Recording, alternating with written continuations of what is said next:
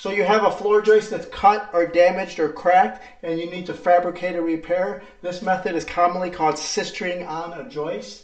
We're going to put new material in here and fix this up. We'll show you how. Now in this case, we're going to use the adjustable post as a temporary lift only, so we will be removing it after the repair. The flat end of the plate goes towards the side you're lifting. And then we're going to turn it and snug it up.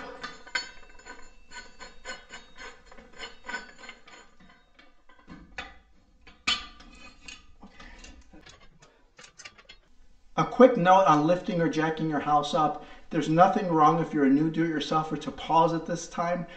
Consult with a builder, structural engineer. You want to make sure you're not lifting your house too quickly.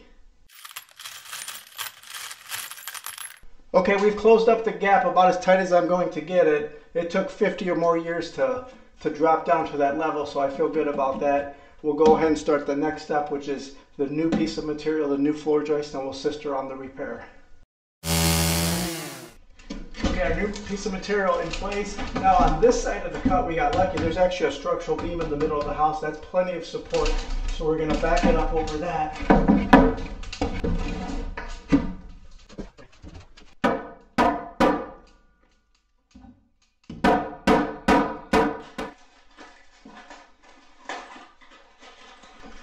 All right, guys, screws versus nails. This argument has been raging for a long time. Screws are probably easier to use. However, they have less shear strength as it's holding the material on.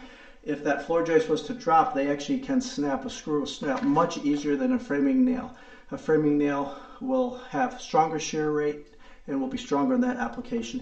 So use whichever fastener you want. Don't worry, we'll cut that part out. All the nails are in, but you also want to use some heavy duty hardware. This is holding up the floors after all. I'm going to use some 5 inch carriage bolts.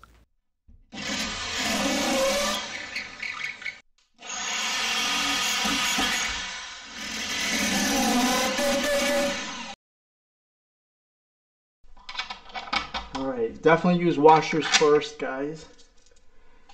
And the nut.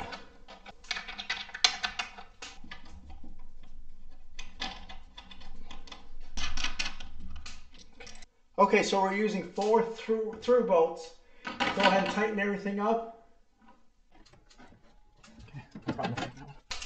Okay, with everything tight and the new sistered repaired floor joist in place, you're good to start slowly loosening up your temporary jack.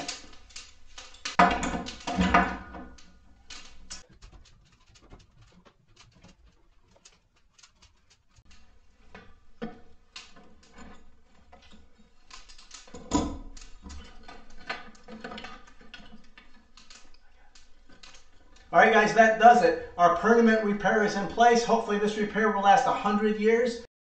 I bet you can do it yourself.